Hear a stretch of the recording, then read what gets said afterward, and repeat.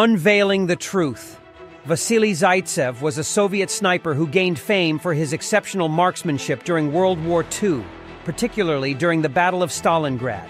He was drafted into the Red Army during World War II and quickly became recognized for his sharpshooting skills.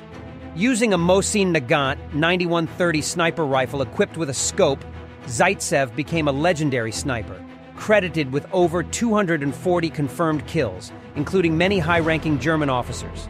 He was known for his patience, accuracy, and ability to remain concealed for extended periods, making him a deadly adversary for the German forces besieging Stalingrad.